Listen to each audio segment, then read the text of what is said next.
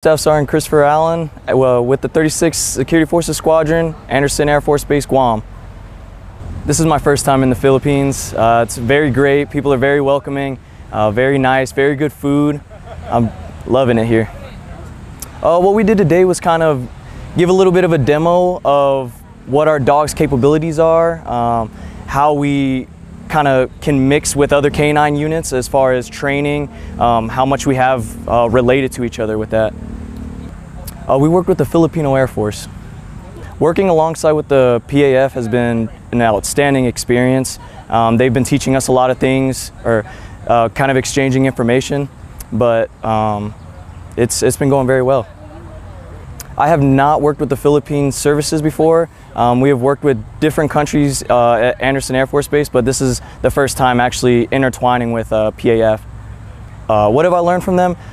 I've learned how they use dogs um, with different capabilities. I've never seen um, dogs be able to find people like under rubble and stuff. So when they demoed us that, kind of showed us how they did that, it was amazing. Um, their training standards uh, are pretty much just as the same as ours. We just work in a different way, and the the way that they work is it's amazing. How do I see our team and their team kind of working together?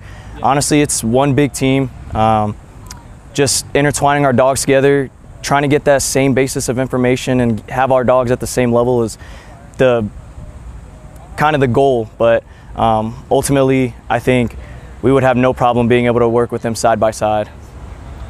I think the exchange benefits the handlers in many ways, um, just by kind of finding that middle ground of how we can keep that training um, the same, but a little bit different in our own ways, uh, as well as they might have some capabilities that we don't have, as far as uh, as the same as we have capabilities that they might not have. So I think when if we were to intertwine, we both have strong suits on sides that we could both learn.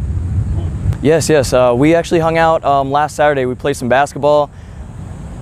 Those guys can really hoop. they really can. Uh, we pretty much played for a couple hours and they did not stop. That heat was not uh, was not affecting them, but it was affecting us. it's amazing. Uh, spending time with them outside of work, it was amazing. Just because we could kind of open up a little bit, kind of, you know, break bread a little bit, play a game that we both love, and just kind of talk to each other um, offline and just see what other similarities we have besides work. Yeah, I'm very thankful to be here. Um, I want to thank uh, PAF for allowing us to be here and, and training with them and intertwining and um, just exchanging information. It's been a blast. I think the biggest thing that I've learned here so far is you really have to be open with everybody around you when it comes to training. Um, there's obviously kind of a language barrier, but just because there's a language barrier doesn't mean that we can't exchange information and kind of see eye to eye on stuff. And they've taught us more than I could possibly have learned in this short amount of time. It's, it's been amazing. As far as how this is going to impact the dogs is you're going to have more things in your pocket that you can teach them, um, different techniques that may benefit them or benefit dogs at your other kennels. Um, what have we done since we've been here?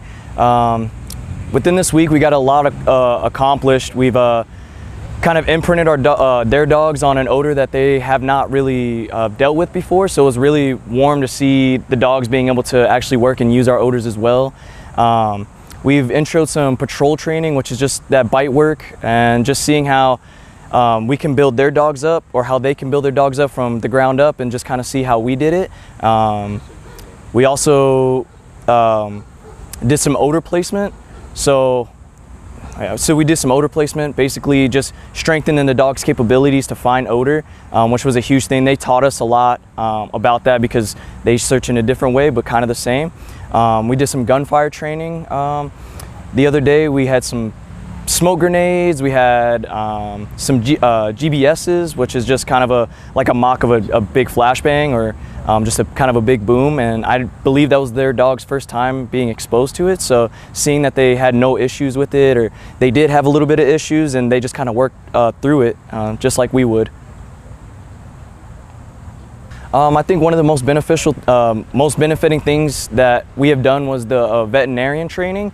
So we have a a mock diesel dog is what we call it, but it basically bleeds, it barks, uh, it gives off uh, pulses, breaths per minute, everything. So uh, seeing the handlers and the trainers and their um, their vet as well being able to do hands-on uh, incisions, uh, tracheotomies. Uh, that's that was some very great stuff, and our lieutenant colonel was really taught that very good.